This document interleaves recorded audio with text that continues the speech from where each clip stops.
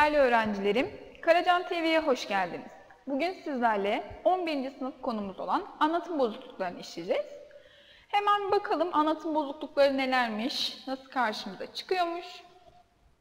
Şimdi kişi amacını söz veya yazılı olarak anlatmak için önce düşüncelerini belirler, düşüncelerini düzenler, seçeceği sözcükleri seçer, sıraya koyar ve bu şekilde de bir cümle kurar.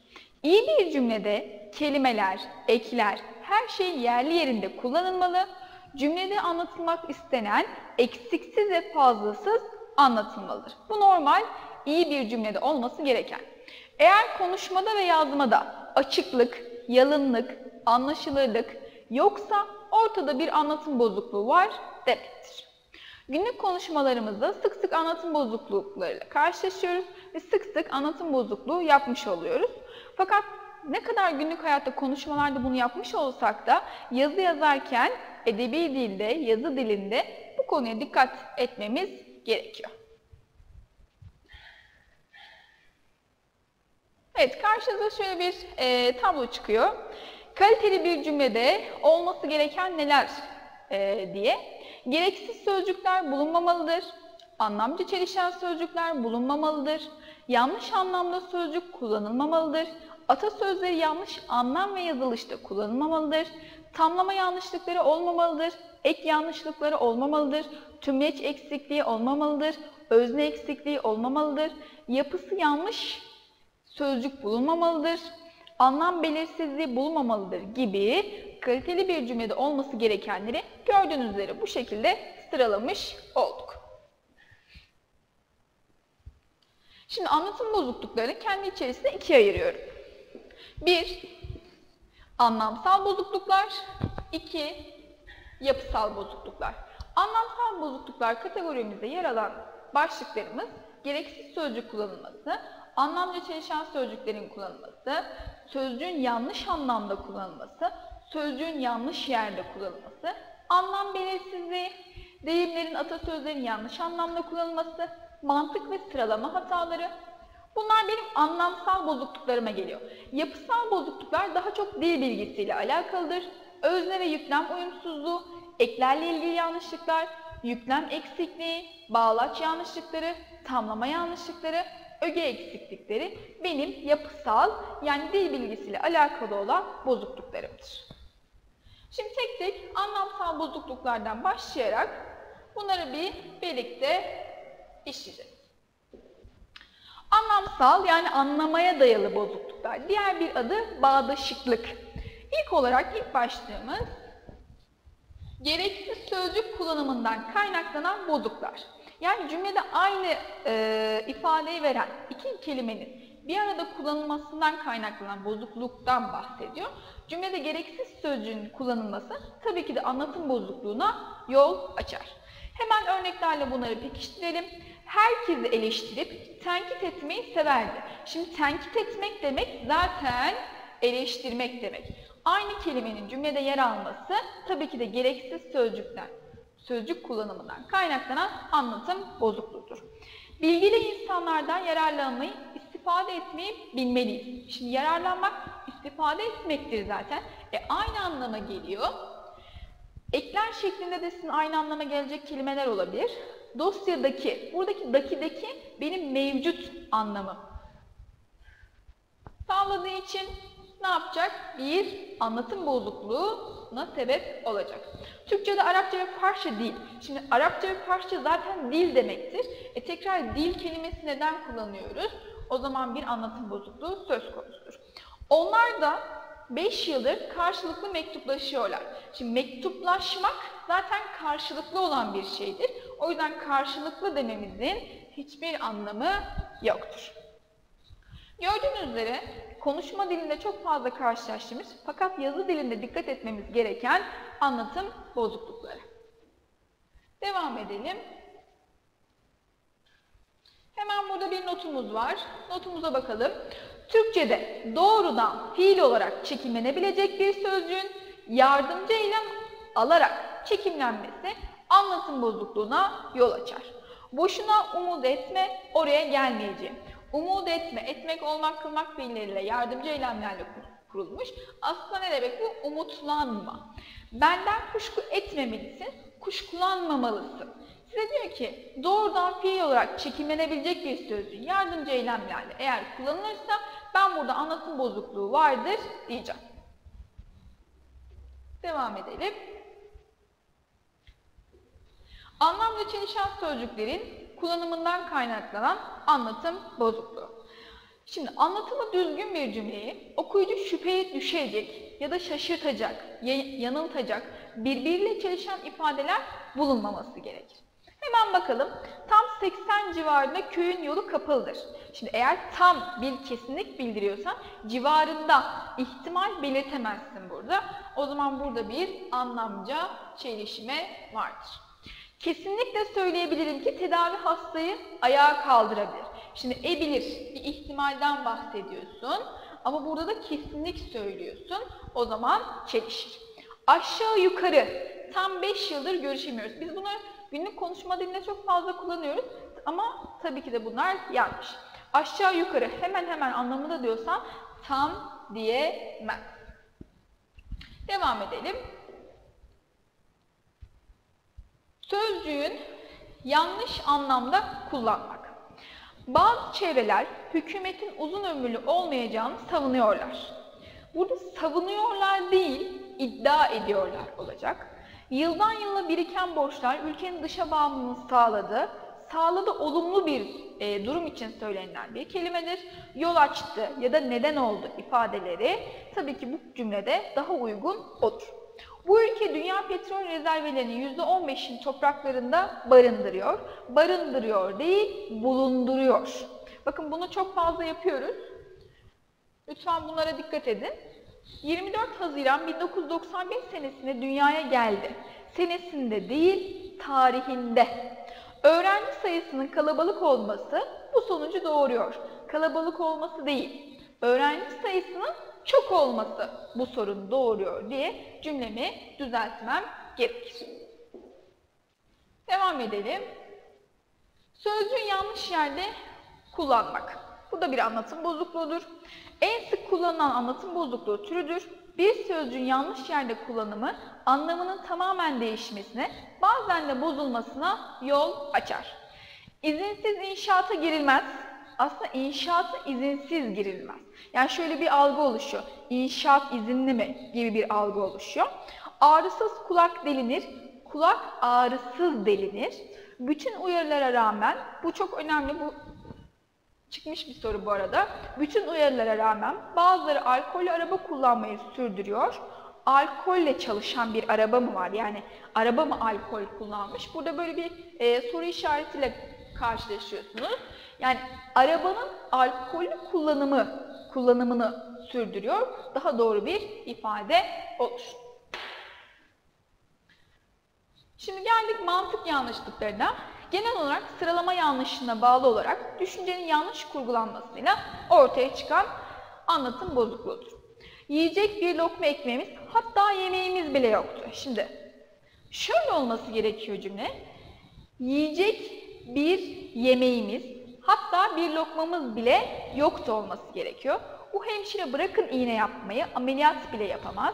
Bu hemşire bırakın ameliyat yapmayı iğne bile yapamaz. Şöyle olabiliyor. Bu hemşire ameliyat yapmayı bırakın iğne bile yapamaz. Alkol ölüme hatta kansere yol açıyor. Alkol kansere hatta ölüme yol açıyor olması gerekiyor. Gördüğünüz üzere mantık yanlışlıkları olduğu için ben buna da ne diyorum? Mantık yanlışlığından kaynaklanan anlatım bozukluğu. Geldim atasözü ve deyimlerin yanlışlıklarına. Kalıp ifadeleri değiştirerek kullanmak her zaman anlatım bozukluğuna sebep olur. Yorgunluktan dizlerimin bağı çözülmüştü. Yorgunluktan değil, korkudan. Bir, tabi bunu bilebilmeniz için atasözü ve deyimlerine hakim olmanız gerekir bu arada. Bir koyundan iki deri çıkmaz, bir koyundan iki post çıkmaz. Tüm itirazları göz yumdu, göz yumulur. İtirazlara kulak tıkanır.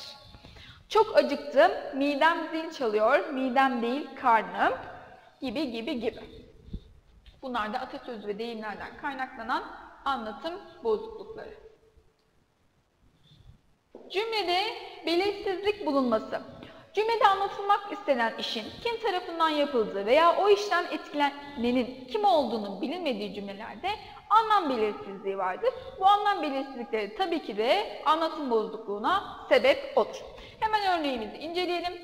Balık tutmayı babamdan daha çok severim dediğinde şimdi şöyle bir şey çıkıyor ortaya.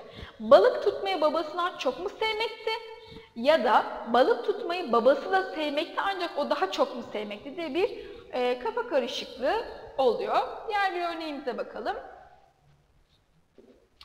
Yarışmada birinci olduğuna sevindim. Bu da yine bir çıkmış sorudur. Burada zamir. Onun yarışmada birinci olduğuna sevindim. Bir zamir belirtmediği için anlam belirsizliğinden dolayı bir anlatım bozukluğu vardır. Yapısal bozukluklara geldik. Yapısal bozukluklar daha çok dil bilgisiyle alakalı demiştim. Tabi bunu bilebilmeniz için yine söylüyorum. Nesne ne demek, tümleç ne demek e, bunları bilmeniz lazım. Hemen başlayalım. Nesne eksikliği. Nesne alması gereken fiilden önce nesne getirilmemesinden kaynaklanan anlatım bozukluğudur. Öğrenciler ders konusu için aralarında karar verdiler ve uyguladılar. Neyi uyguladılar?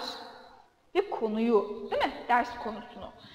Ne uyguladı, ne, neyi, e, soruları bana cevap vermiyorsa o zaman benim bir nesne eksikliğim burada söz konusudur. Romanların biçimsel özellikleri üzerinde düşünür, geliştirmeye çalışırız. Neyi geliştirmeye çalışıyorsunuz? Aslında şurada ne olması lazım? Düşünür, romanları geliştirmeye çalışırız olması lazım. İnsanlara dert veren, aşağılık duygusuna düşüren, sebeplerin derinine inelim. Kimi aşağılık duygusuna düşüren? Cevap alamadığım için nesne eksikliğinden kaynaklanan bir anlatım bozukluğu vardır diyor. Geldim tümleç eksikliğinden kaynaklanan bir anlatım bozukluğu. Farklı tümleçlerin bulunması gereken cümlelerde aynı yükleme bağlanması sonucu ortaya çıkan yanlışlıklardır. Almanya Fransa'yı bombalamış ama girememiş ve çekilmiş. Şimdi Almanya Fransa'ya girememiş. Bunun cevabı burada alamıyoruz. O yüzden bir tümleç eksikliğimiz var. Yani şu şekilde olması gerekiyor. Almanya Fransa'dan çekilmişti diyorsunuz mesela. Bu cümlede de bir cevap alamıyorsun. Nereden? Fransa'dan diye söyleyebiliyorsun ama Almanya Fransa'da çekilmişti. Bu cümlede de bir e, tümleç olmadığı için tabii ki de tümleç eksikliği söz konusu. Annem uyanınca yüzünü yıkar ve krem sürerdi. Aslında burada ne olması lazım? Yüzüne olması lazım. Ama nereye diye bir e, tümleçe sorduğumuzda cevap alamadığımız için tümleç eksikliği söz konusu. Devam edelim. Özne yüklem uyumsuzluğundan bahsettik. Özne yüklem uyumsuzluğu karşısında tekillik, çoğulluk, şahıs ve olumlu, olumsuzluk açısından da çıkabilir. Tekil çoğul uyumu, şimdi özne insan ise, özne tekil ise yüklem tekil olur. Şimdi Ahmet bize geldi doğru bir ifadedir. Özne çoğul ise yüklem tekil veya çoğul olabilir. Onlar bize geldi. Özne insan dışı varlık ise özne ne olursa olsun yüklem tekil olur. Domatesler toplandı. Domatesler toplandılar. Şimdi baktığımız üzere domates cansız bir insan dışı bir varlık mı? Evet insan dışı bir varlık. Larler çoğul ekini almış mı? Evet. Yani sizin aklınıza yüklemde larler gelecek diye düşünmeyin. Bu bir cansız insan dışı varlık olduğu için tekil olmak zorunda. Domatesler toplandılar. Birazcık şöyle yukarı alalım daha net görünsün. Domatesler toplandılar derseniz bu yanlış bir ifade olur. Hayat kısa, kuşlar uçuyorlar. Şimdi bu yanlış bir ifade. Kuşlar insan dışı bir varlık olduğu için kuşlar uçuyor olması gerekir. Sibel tüm gün ders çalıştı. Bu doğru bir ifade. Leylekler sıcak bölgelere göç ettiler. Leylekler sıcak bölgelere göç etti olacaktı. Bağrışmalar bizi korkuturlar. E, bağrışma zaten insan dışı bir unsur olduğu için bağrışmalar bizi korkutur olacaktı. Evet burada bir notumuz var. Hemen notumuza bir bakalım. Kimse, hiç kimse, hiçbiri sözcükleri özne görevi üstlenirse bu özneler bağlı yüklemler olumsuz olmak zorundadır. Hemen bakıyorum. Şöyle silelim. Geldim tekillik, çoğulluk. Burada başka şeyimiz yok değil mi? Tekillik, çoğulluk uyumu. Temel olarak tekillik ve çoğulluk uyumunun esası şudur. Özne tekilse yüklemde tekil olur. İhtiyar bahçeyi suluyor. Özne insan ve çoğulsa yüklem tekil de olabilir, çoğul da olabilir. İnsan ve çoğulsa şartım bu. Tekil de olabilir, çoğul da olabilir. Aslında yukarıda bunu e, biraz daha bahsetmiştik. Çocuklar evlerine gittiler dediğinizde olabilir. Avukatlar istememiş, avukatlar istememiş. Avukatlar savunmak istememişler. Bunlar olabilir. Eğer özne hayvan, bitki, nesne, organ adları ve soyut adlardan oluşup çoğul oluyorsa yüklem genellikle tekildir. Bu tür duygular insanı yıpratır. Ağaçlar budandı. Baktığınız üzere bahsettiği şey şu, kafa karışıklığı olmasın. Hemen şunu yukarıya doğru alalım. Bahsettiği şey şu sevgili öğrenci. Ağaçlar insan dışı varlık mı? Evet. Budandılar olmaz diyor. Tamam Bahsettiği durum bu yani. Ellerim soğuktan morardı. Eski aşıklar unutuldu. Aşklar unutuldu. Aşklar unutuldular demiyor yani. Çoğul olduğu için burası insan dışı varlık olduğu için tekil olmak zorunda. Geldim tamlama yanlışlığına. Tamlama ögelerinden birinin yerine kullanılmaması sonucu oluşan anlatım bozukluğudur. ÖSYM'nin en sevdiği anlatım bozukluğu sorularından biridir. Müdür ve bina sorumlusu binaya birer birer kontrol etti. Şöyle olması lazım aslında, bina sorumlusu ve müdür. Bu ülkeyi teknik ve bilgi yardımında bulunacağız. Bilgi yardımında ve teknik yardımda.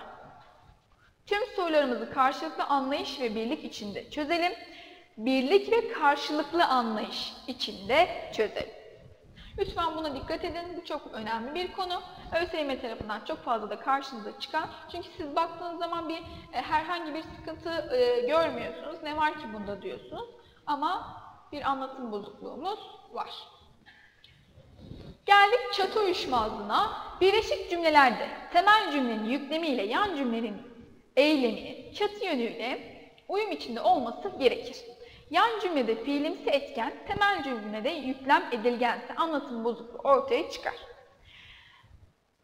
Şimdi burada tabii yan cümle ne demek, temel cümle ne demek? Temel cümle yüklemim aslında benim cümledeki.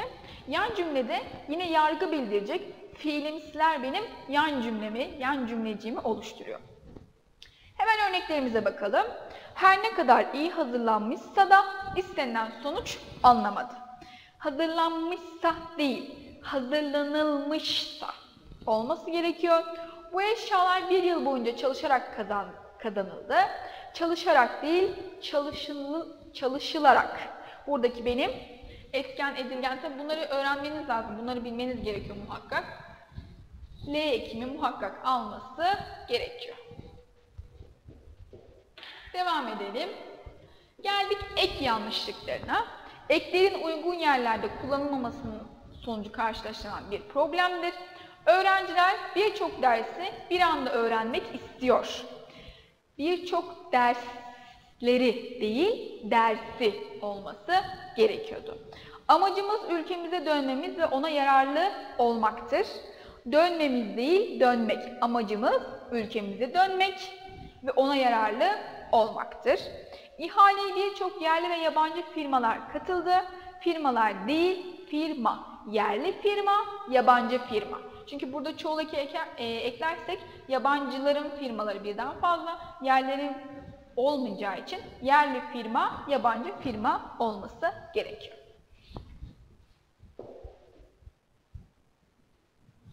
Geldim nesne eksikliğine. Sıralı, bağlı ya da birleşik cümlelerde nesne alması gereken yüklemlerin nesne almamasından kaynaklanan anlatım bozukluğu. Ünlü sanatçı günlüğüne İstanbul'u İstanbul'a bir sonbahar akşamı gittiğini ve çok beğendiğini yazmış. Burada ne olacak? Neyi çok beğendiğini, İstanbul'u çok beğendiğini yazmış. Yapıtlarına yaşama ışık tutan sanatçı gerçekçi bir yaklaşımla ve yalın bir dille oluşturuyor. Yapıtlarını oluşturuyor. Çocuk okuduğu romandan çok etkilendiğini ve romanı bir daha okuyacağını söyledi. Devam edelim. Özne yanlışlığı ve eksikliği. Cümlede öznenin bulunmamasından kaynaklanan anlatım bozukluğudur. Şunu şöyle silelim. Hemen. Biz ağaçları hiç ilaçlamadık, yine de meyve verdi. Doğru cümlem nasıl olması gerekiyor? Biz ağaçları hiç ilaçlamadık, ağaçlar yine de meyve verdi. Dernek müdürünün yetkilerini, yetkileri alındı ve dernek müdürü kovuldu. O insanların sayısı azalıyor, onlar bulunmaz oluyorlar. Benim doğru cümlem. Şimdi e, şöyle bir şey de var. Yanlış okunan ya da yazılan veya söylenen sözcüklerden de kaynaklanan anlatım bozukluğu karşınıza çıkar. Haberiniz olsun lütfen bu durumda da. Yani asfalt değil, asfalt. Herkes değil, herkes. Kavanoz değil, kavanoz. Kılavuz değil, burada ığımız var. Lazım değil, lazım, y'miz yok. Mefta değil, mefta, v ile. Mahvetmek değil, mahvetmek. Örneğin değil, y ile değil, g ile. Sezeryan değil, sezaryen. Sil, siluet değil, silüet. Şefkat değil, şefkat. Bunlar çok fazla gördüğünüz üzere karşınıza çıkan yanlışlıklar. Bunlar da olursa yanlış okunması ve yazılması durumunda anlatım bozukluğuna yol açıyor. Şimdi burada bir karışık uygulamamız var. Hemen bunlara bir bakalım. Hiç kimse onu hor görmüyor. Ona yardım ediyordu. Şimdi burada bir e, anlatım bozukluğu var mı? Özne yüklem olumluluk açısından uyumsuz. Virgülden sonra ne olması lazım? Herkes ona yardım ediyordu olması lazım. Bu konuda yetkililerle konuşarak onların görüşünü almayı düşünüyoruz. Burada bir anlatım bozukluğu var mı? Herhangi bir anlatım bozukluğu yok cümlemde.